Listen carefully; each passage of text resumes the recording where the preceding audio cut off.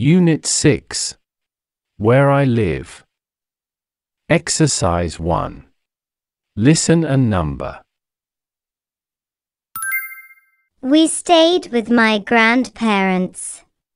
They live in a little village. We stayed in a hotel by the sea. It was lovely.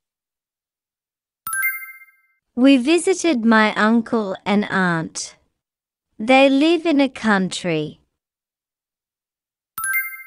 We visited a big city. I liked it very much.